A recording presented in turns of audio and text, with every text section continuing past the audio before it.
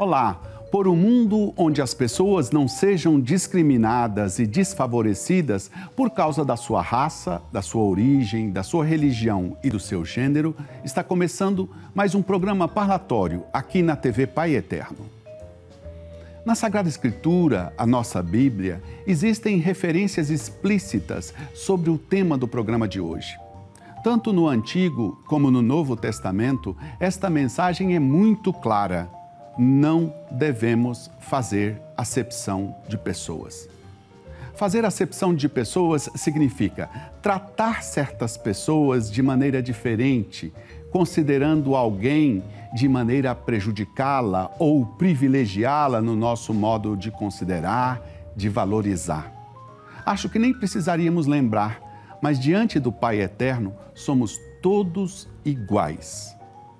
Fazer diferença entre as pessoas por qualquer motivo, especialmente quando se trata da diversidade humana que nos enriquece, como o gênero e a raça, além de ser um escândalo para quem tem fé, é um crime no Brasil quando a gente não usa a mesma medida em nossos julgamentos sobre o outro e favorece ou desfavorece certas pessoas, criando regras diferentes somente por causa de nossas preferências pessoais, estamos negando a justiça. A justiça da terra e a justiça do céu. Para conversar conosco sobre os direitos de quem é vítima de crimes de gênero ou racismo, eu convidei a advogada especialista nesse tipo de crime, Faida Belo. Formada como advogada e pós-graduada em Direito Processual Penal, ela montou o próprio escritório de advocacia e trabalha principalmente na defesa de mulheres e crianças vítimas de violência doméstica, crimes ligados ao gênero e também à discriminação racial. Faida também utiliza suas redes sociais para esclarecer dúvidas sobre o assunto, desfazer fake news e promover a consciência social.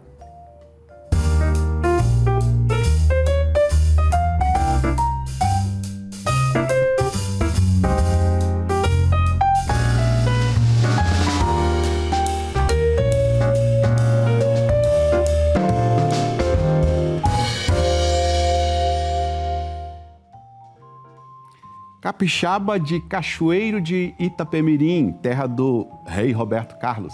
Faida Belo se destacou na web por ensinar seus seguidores a usar a lei para se defender dos mais variados crimes.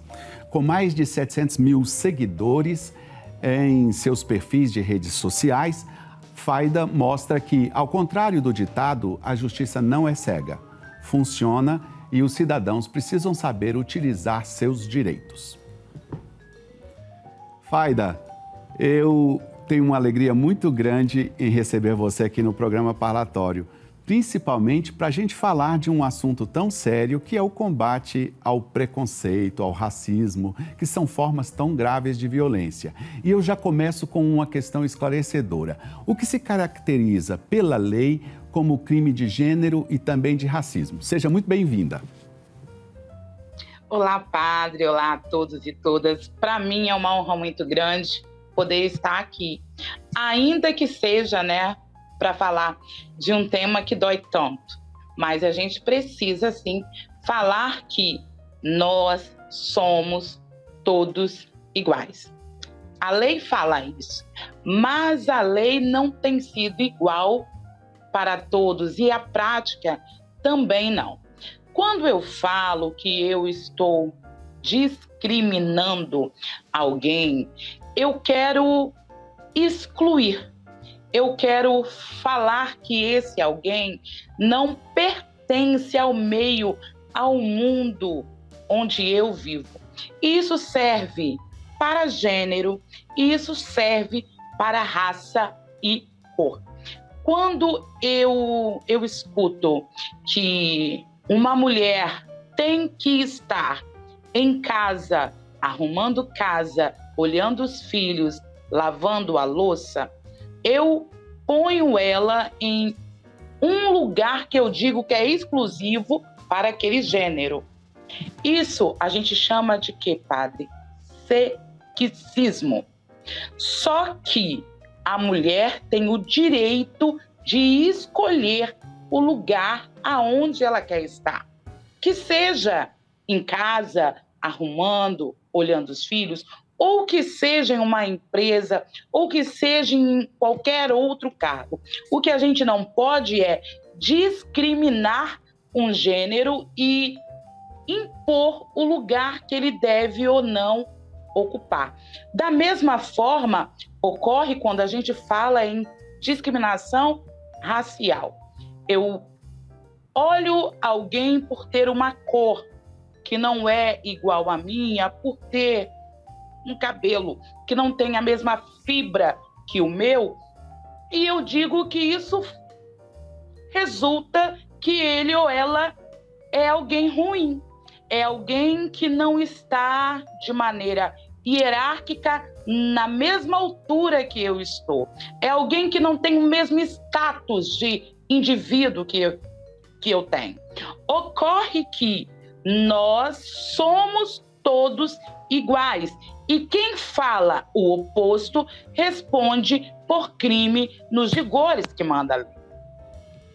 Perfeito, Faida. Olha, às vezes isso parece tão básico e tão elementar, mas precisa ser dito e você acabou de nos dizer com muita clareza.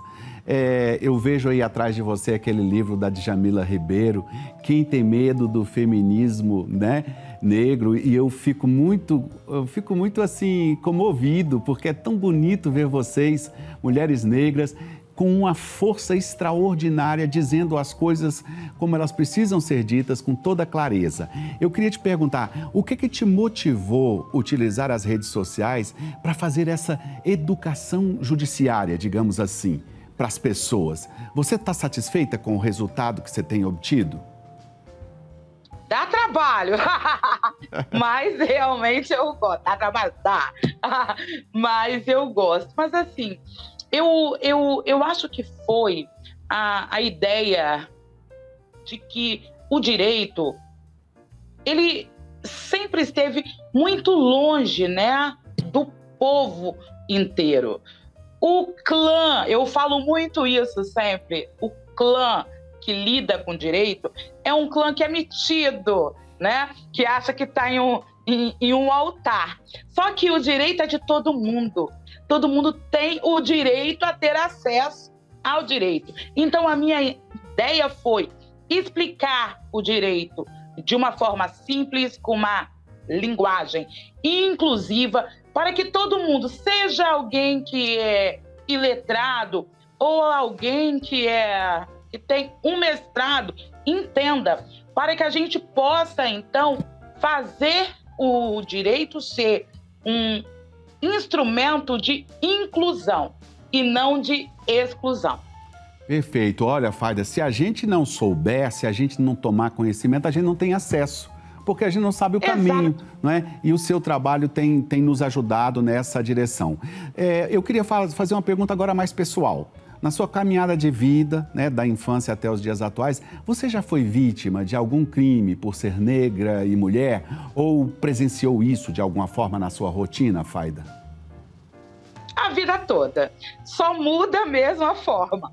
Quanto ao racismo, né, eu falo que não é sobre classe, né? O racismo ele é sobre cor. Ele é um crime de ódio contra negros. E não importa a classe social que este homem ou esta mulher negra integre. Note que quando eu era criança, eu sofri racismo. Quando eu, eu lembro que eu estava em frente a um mercado olhando um iogurte, que eu tinha um sonho de beber um, um iogurte. Olha só. E o gerente chamou a polícia, porque eu estava em pé olhando o iogurte. Ele achou que eu, eu tinha coisa de 11 anos, que eu iria realizar um furto. E eu só estava ali olhando o iogurte. Quando eu era jovem, eu vivi racismo. Quando eu era adulta, quando eu me tornei advogada, falei: agora acabou. Mas não acabou. Veja eu ir ao fórum, como estou aqui, com blazer, alinhada, chegar a uma sala com um juiz, falar: olha, Excelência, vim aqui falar com o senhor sobre um caso. Eu não atendo partes, eu só falo com advogados. Mas, ué, Excelência, eu sou advogado. Me desculpa, doutora, eu sou obrigado, senhor é o juiz. O que, que eu vou fazer? Não é verdade? Então, assim, não é sobre classe, é sobre raça. Não importa a classe que este homem, que esta mulher negra integra, não importa se ele é pobre, se ele é rico. O que importa é que ele é preto. É muito triste ainda hoje é, ver que muita gente não normaliza que pessoas pretas podem hoje ocupar espaços que antes eram ocupados apenas por brancos. E isso faz com que diariamente, quando eles encontrem uma mulher preta que é advogada, um homem preto que é um médico, eles sempre tentam achar que não é, porque é preto. A gente precisa romper urgentemente com esse dogma. Urgentemente, concordo com você. Urgentemente. Faida, eu vou precisar pedir sua licença agora para a gente fazer um breve intervalo. Vamos para um breve intervalo e eu já volto para continuar nossa conversa com a Faida Belo. Até já.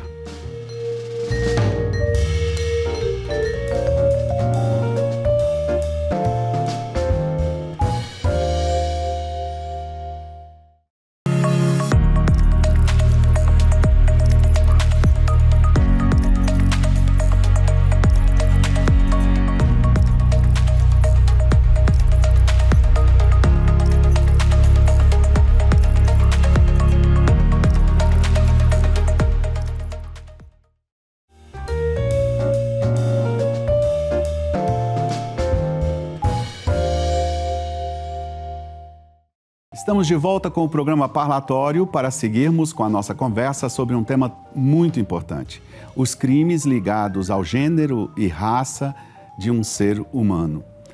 Eu estou conversando com a advogada Faida Belo e a nossa conversa está muito interessante. Faida, é, antes do intervalo, você estava dizendo o quanto é urgente combatermos esse tipo de discriminação, como é essa escandalosa realidade da do racismo. Então, eu estava me lembrando aqui, é, hoje em dia não se fala muito, ou pelo menos esteve muito sob suspeita, esse, o grande pedagogo, o Paulo Freire, ele dizia que sem educação, não é? Eu não estou certo se a frase era exatamente essa, o, o, o, o, aquele que é oprimido, sem educação, ele deseja um dia ser o opressor, ele trocar de lado, não é? E você viveu essa situação na sua juventude, na sua infância, e quando chegou a hora de você virar uma advogada, quer dizer, ter uma profissão e ser respeitada, você não quis ser, é, não quis repetir o que, o que fizeram com você. Quer dizer, sem revanchismo, você quis combater aquilo que fizeram com você para que outras pessoas não sofressem aquilo que você sofreu. Então, na sua análise, eu te pergunto: o, o Brasil já evoluiu em relação ao racismo e sobre também outras discriminações? Você sabe muito bem que se fala por aí que o, o, o povo brasileiro é muito gentil, que talvez não exista isso no Brasil, que seja mais dos militantes e tal. Você acha que o Brasil evoluiu? Nossa legislação, que é a sua especialidade, ela contempla a defesa dessas vítimas, Faida? O que eu sempre falo quando eu falo de crimes raciais é que a gente fica muito preso à, à lei repressiva, né? Ou seja, aquelas leis que tornam crimes o racismo, a injúria racial. Só que a gente vai rodar em círculo.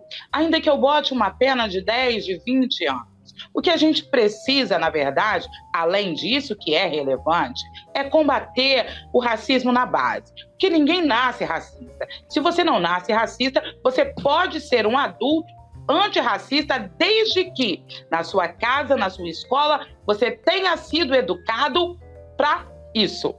Porque se eu nasço sem ser racista e me torno um racista, é porque o meio aonde eu vivo, a educação que eu tive, me caminhou para isso.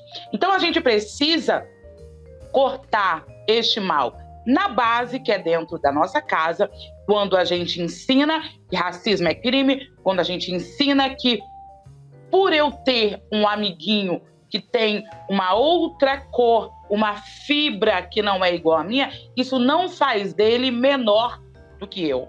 Isso não faz dele um animal, isso não faz dele qualquer outra coisa. Ele é um indivíduo. Por outro lado, nós temos desde o ano de 2003 a Lei 10639, que ela diz que todas as escolas do Brasil devem explicar e incluir no plano anual de ensino o estudo sobre a cultura afro e o estudo sobre qual a contribuição que a população preta deu para reerguer o Brasil em todas as áreas. Essa educação vai fazer, vai resultar em alunos jovens verem que, na realidade, o homem negro, a mulher preta, não se resumiu a troncos e açoites e navios. Na verdade, homens e mulheres pretas ajudaram a construir o Brasil que a gente hoje vive. Então, a gente precisa, sim, de leis que reprimam o racismo. A gente precisa, sim, de políticas públicas de inclusão, mas a gente precisa principalmente de educação. Faida, o tempo aqui passa muito rápido, principalmente quando o convidado é uma pessoa como você. Muito boa da gente ouvir e, e acompanhar o que você está dizendo. Obrigada. Mas é, é, eu preciso te perguntar uma coisa, porque a gente prometeu desde o início do programa, que é um pouquinho a caracterização do crime. Então eu queria que você falasse um pouquinho onde surge a, o crime de racismo ou crime ligado ao gênero. Que você caracterizasse um pouco isso, por favor. Vamos em partes, então. Quanto ao racismo em si, nós temos, é, quando, a gente, quando, quando a gente fala de raça e cor, nós temos o crime de racismo e temos o crime de injúria racial. Eu entendo por injúria racial toda aquela discriminação, o ódio, aquela ofensa à honra de maneira individual a alguém. Eu ofendo o padre usando elementos de raça e cor dele. Isso é injúria racial, está lá no artigo 140 do Código Penal. Agora, quando eu falo de crime de racismo, esse ódio, essa exclusão, essa discriminação não é apenas contra o padre, ela é contra todos os pretos. Eu realmente quero discriminar todos os negros. Quando eu falo que a faida, a faida tem um nariz de preto horroroso. O meu problema não é o nariz da faida. O meu problema é que eu estou discriminando o nariz de todos os pretos. Quando eu digo que todos os pretos são o quê? São macacos, são animais. Eu estou discriminando toda a população negra. Aí eu tenho crime de racismo e posso receber uma pena de até cinco anos de reclusão por isso. Por outro lado, quando a gente fala em crimes de gênero, é sempre aquela violência em, em que eu penso que a mulher, por ser mulher, ela está também um degrau abaixo do homem. Mas isso, padre, eu tenho que te contar uma coisa. Isso tudo é uma herança que teve a ajuda do império. Por quê? Desde quando o Brasil era império, desde a primeira lei que houve aqui no Brasil, as leis foram criadas realmente para pôr a mulher em um lugar de acessório.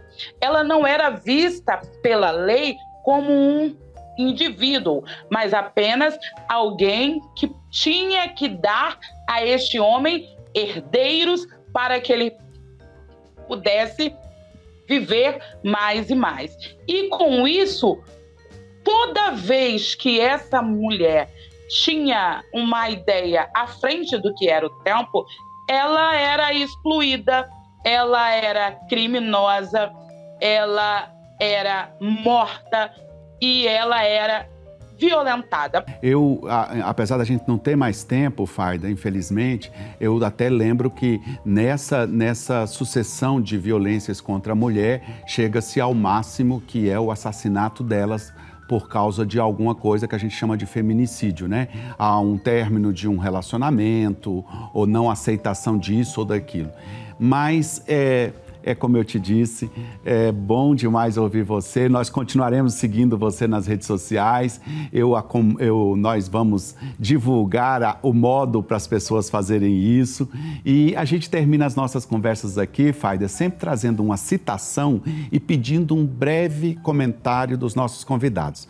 Para você, nós trouxemos uma palavra de uma autora nigeriana chamada Kimamanda, Kimamanda Adichie. Kimamanda Adichie. Kimamanda Gozi. Ah, isso, Kimamanda.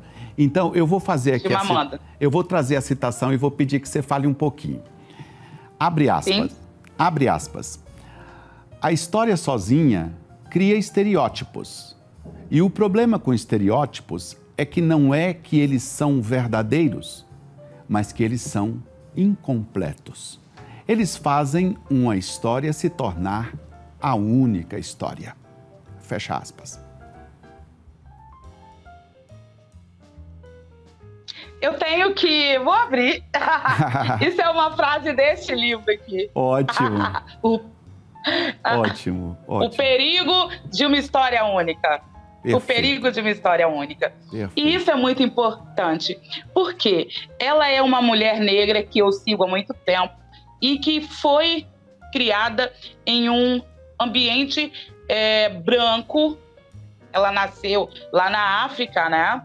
Mas ela foi estudar nos Estados Unidos. E aí todo mundo tinha a ideia de que a África era um lugar muito pobre e escravizado, enquanto ela era uma mulher negra rica. e isso ela relata muito, muito forte aqui, porque muita gente pensa que nós, as pessoas pretas, somos é, herdeiro de escravos.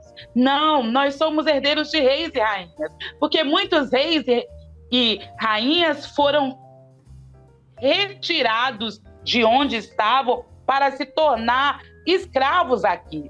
Então, ela cita isso de uma maneira fantástica que é perigoso a gente escutar uma única história. Daí eu remonto o que eu aqui já disse, a importância das escolas aplicarem o ensino da cultura afro, porque hoje os livros de história resumem a mulher e o homem negro a açoite e, e, e o tronco, quando na realidade essa história única, remove, exclui, é, oculta a verdadeira colaboração que o homem e a mulher negra teve para construir o Brasil, este lugar lindo, cheio de cultura, que é plurirracial e que ajuda tanta gente. O homem e a mulher negra, como você disse, herdeiros de reis e rainhas.